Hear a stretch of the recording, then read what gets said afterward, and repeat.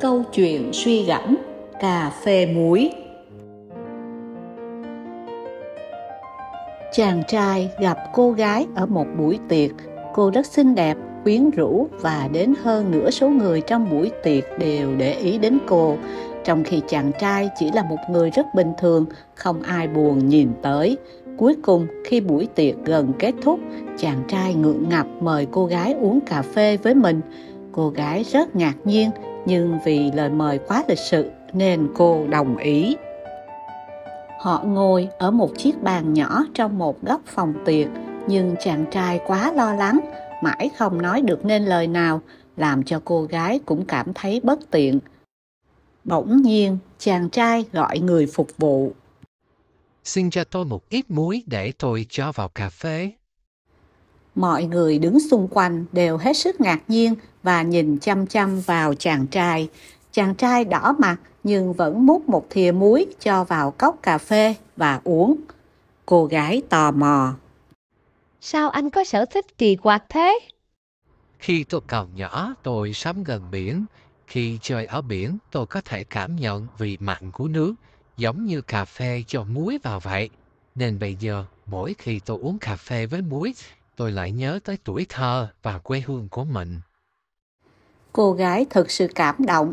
Một người đàn ông yêu nơi mình sinh ra thì chắc chắn sẽ yêu gia đình và có trách nhiệm với gia đình của mình. Nên cô gái bắt đầu nói chuyện cởi mở hơn về nơi cô sinh ra, về gia đình. Trước khi ra về, họ hẹn nhau một buổi gặp tiếp theo.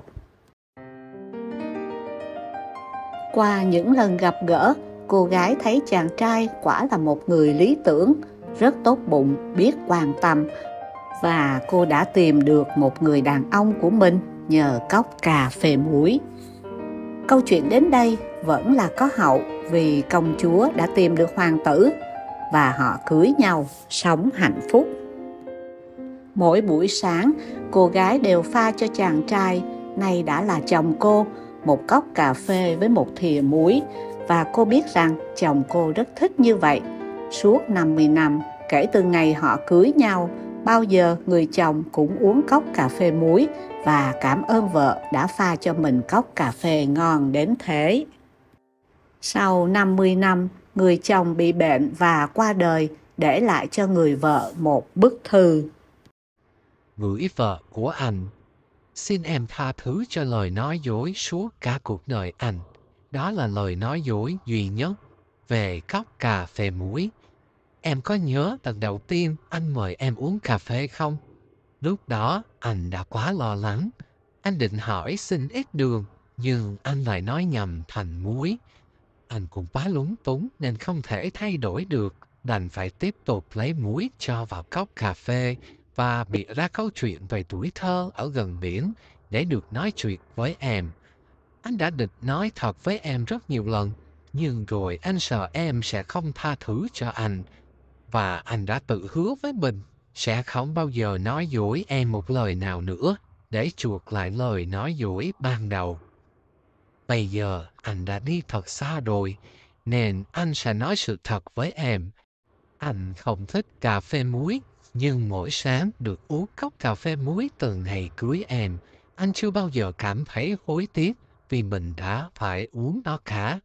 Nếu anh có thể làm lại từ đầu, anh vẫn sẽ làm như thế để có được em và anh sẽ uống cà phê muối cả cuộc đời. Khi người vợ đọc xong lá thư cũng là khi lá thư trong tay bà ướt đẫm nước mắt.